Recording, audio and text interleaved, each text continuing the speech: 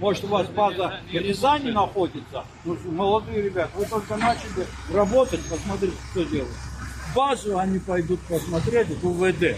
Ну, разве так можно? Кому передать? У нас ни- никого не находится, все на маршрутах. программе. Базу говорит, пойдем посмотрим базу. А база находится в Рязани. Мы Сейчас там туда будем. поедем. Мешает стоять. Пройдете с нами? Право у нее есть такое. Так вы не говорите, что ребята, что-то вот нарушили. пройдемте с нами для проверки документов. что это Девушка, плакат, проходите. Так вы сейчас говорили, что Почему я... с вами? Вы ее местоположение зафиксировали? Вот сфотографируйте. Да, я вам сейчас удостоверение предъявлю. У вас сомнения? Где? В каком другом месте?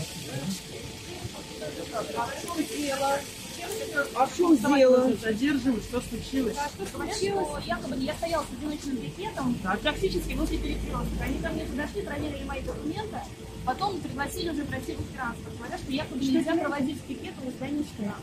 Так,